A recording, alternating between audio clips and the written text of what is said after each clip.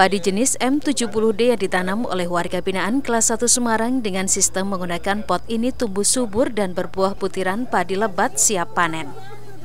Kepala Lapas kelas 1 Semarang didampingi Kepala Dinas Pertanian Kota Semarang beserta jajarannya dan sejumlah warga binaan pun melakukan panen padi bersama. Meski ditanam dalam pot, ternyata hasil panen padi jenis M70D sangat memuaskan.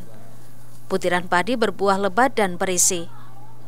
Padi jenis M70D ini mempunyai masa tanam sampai panen hanya 70 hari, sehingga sangat cocok dikembangkan terutama dalam upaya pemanfaatan lahan sempit perkotaan untuk mendukung ketahanan pangan. Lahannya sedikit, jangan lahannya sedikit, kita manfaatkan pembelajaran bagi warga binaan, sehingga menjadi bekal mereka pada saat nanti keluar.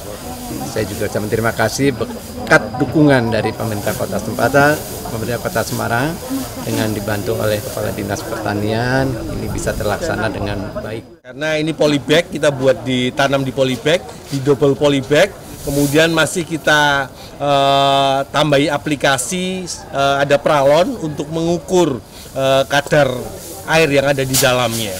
Dan ternyata hasilnya bisa kita saksikan jenis yang kita tanam adalah padi M70D.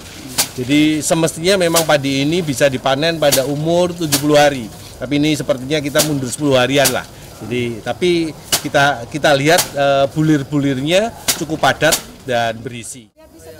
Melalui program pembinaan, pihak lapas berupaya menyiapkan warga binaan pemasyarakatan dengan keterampilan dan keahlian tambahan sehingga dapat digunakan sebagai bekal apabila mereka kembali kepada masyarakat nantinya. Selain menanam padi, berkebun dan budidaya lele, warga binaan juga diberi bekal keterampilan industri lainnya. Senat Muji, Kompas TV, Semarang, Jawa Tengah.